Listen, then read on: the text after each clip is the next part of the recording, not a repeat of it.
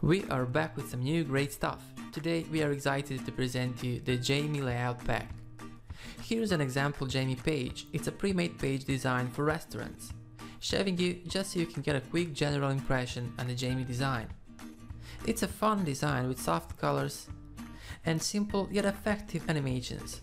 Of course, make sure to check all other Jamie page layouts.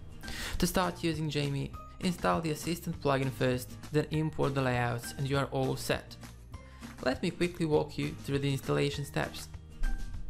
Go to Plugins and then click Add New. Click Upload Plugin and then Browse button. Navigate to file you downloaded and make sure to unzip it first. Inside this zip, find the Jamie Assistant plugin zip and then click Open. Then click Install Now button and wait until the plugin is installed and of course make sure to activate it. Jamie Assistant plugin also requires an API key to be activated and to do that click click here link. You'll be taken to Jamie Assistant dashboard page and API key tab and here you need to add your API key and API email. If you don't know what your API key is, log into divi-den.com website and go to my account API keys page and you're going to find it there. After that you'll be taken to get started tab, please make sure to watch all the recommended videos here and also to go to our knowledge base and to read all the documentation. System status and troubleshooting tab is basically a table with all your service settings listed here and if you see a warning sign instead of the OK status anywhere here, you will probably want to fix that and you can do that by contacting your hosting support and you want to let them know uh, what's the recommended value for the configuration option where you see the warning sign. And there's a help tab.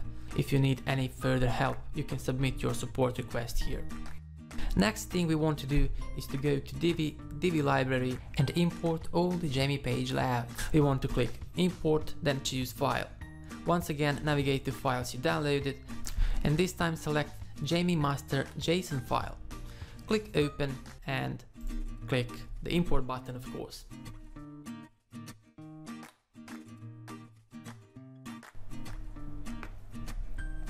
There we go and that's it. Now we can go to a page.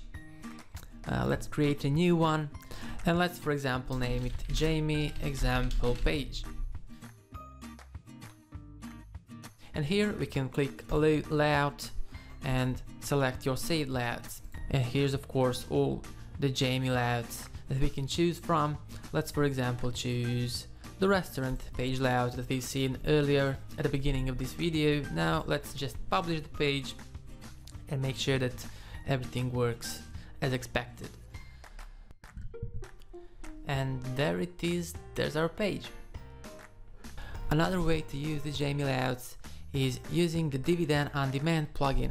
It's the plugin you can get from our website. Uh, you can download it for free, of course. And once you install the plugin, go to settings, then Divi Den on Demand. Here from the dashboard menu, select Jamie collection and only the Jamie page layouts will be shown. Another important thing here is to have the Jamie Assistant plugin installed and activated and of course API key activated as well. If you want to save a particular page layout, just click the save button and it'll be stored in the Divi library so you can use it later on a page. That's it, thanks for watching.